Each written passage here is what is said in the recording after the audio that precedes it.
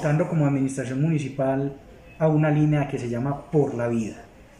Es así de simple. Queremos proteger la vida, entender que la vida es sagrada, entender que en cualquier época es necesario comprender el valor de tener a un ser amado al lado, el valor de protegerse a sí mismo.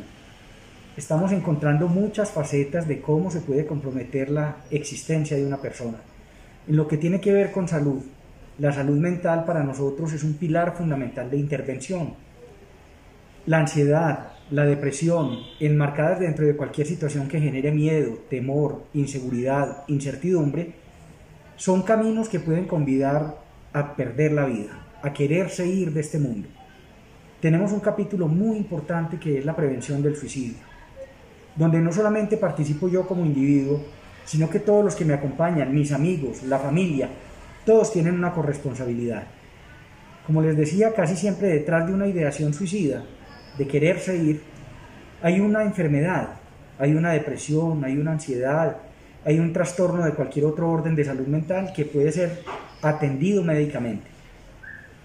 Casi siempre las personas que han tenido ideaciones suicidas han recibido atención médica y han sido formulados. En ese sentido, la persona no puede perder la continuidad del consumo de su medicamento.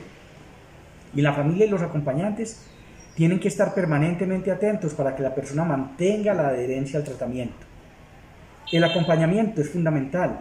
Un acompañante que esté siempre atento para mirar signos y síntomas de alarma. Una persona que se aísle, que pierda toda la continuidad en el autocuidado, que manifieste que se quiere morir, que pierda la intencionalidad de estudiar, de trabajar, etcétera, es una persona a la que le tenemos que poner cuidado porque puede ser el preámbulo de una depresión que lo lleve a un suicidio. Estamos encontrando entonces ya tres componentes. Primero, el autocuidado. Como persona yo tengo que estar enterado de mis signos y síntomas y buscar ayuda oportunamente. Segundo, la adherencia al tratamiento que me han formulado. No puedo perder esa rutina. Tercero, el acompañamiento. Toda la sociedad, pero particularmente la familia, siempre atentos a cualquier signo o síntoma de alarma.